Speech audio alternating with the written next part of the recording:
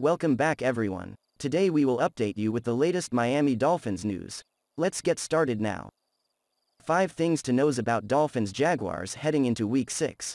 The 1-4 Miami Dolphins are set to depart for London on Thursday where they'll take on the winless Jacksonville Jaguars led by Urban Meyer and Trevor Lawrence. Tua Tagovailoa is believed to be making his return from injured reserve this week and will be looking to give his offense a boost, as they have not been playing up to their potential in the early part of the season. Jacksonville has ranked near the bottom of the league in every statistical category this year, and they are hoping to pop the Dolphins to win their first game. Here are a few things to note prior to the matchup. This will be the Dolphins' fifth time in London and the Jaguars' eighth. The NFL played their first regular season game in London in 2007 when the New York Giants defeated the Miami Dolphins by a score of 13 to 10. Since then, the Dolphins have gone 1 to 3 in London. Jacksonville feels like the adopted team of London, as they have played there more than any other team. However, their 3-4 record shows that the familiarity hasn't given them much of an advantage.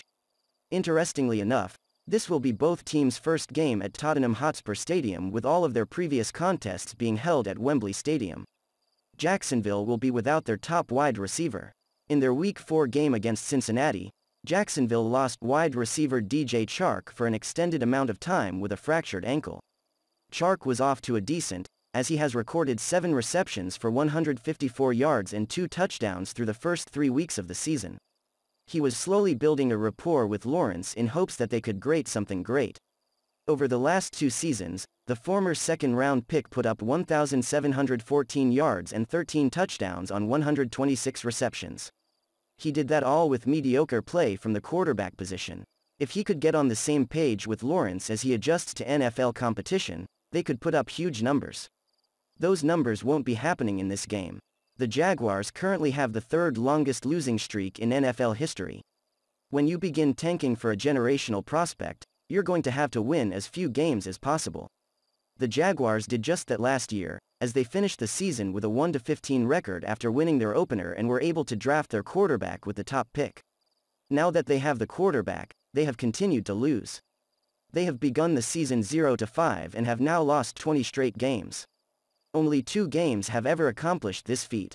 The Tampa Bay Buccaneers lost 26 straight games between 1976-1977, and the record actually belongs to the Chicago Cardinals, now the Arizona Cardinals, who lost 29 straight from 1942 to 1945.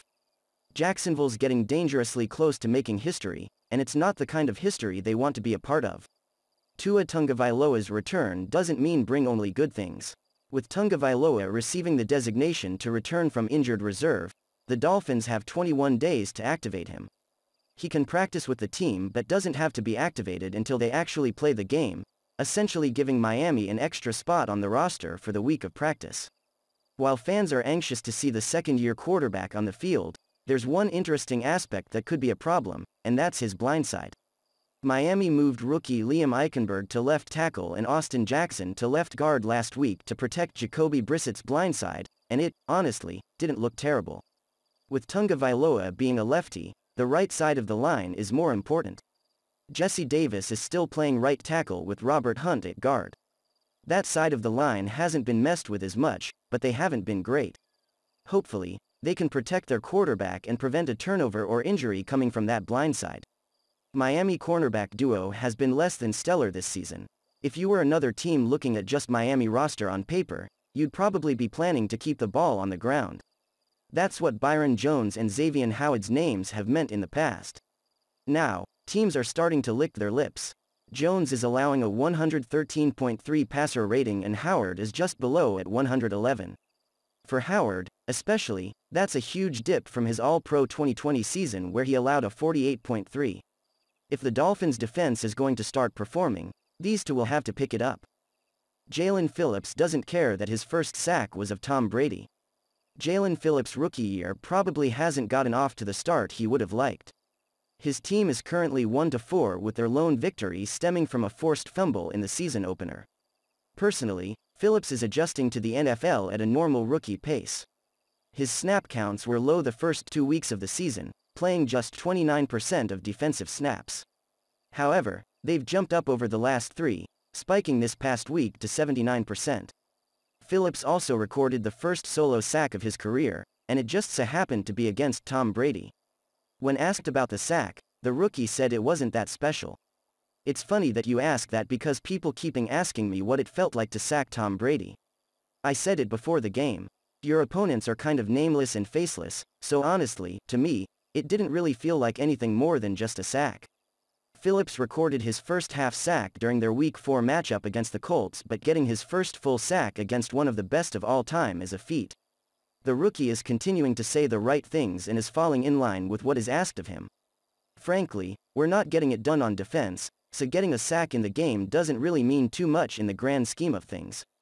Phillips did let himself relish in the idea of sacking Brady a bit, as he mentioned he received the game ball from the equipment staff and that he would add it to his memorabilia collection. The defense has not been good or even average to start the season, but Phillips has been one of the bright spots both on the field and off of it.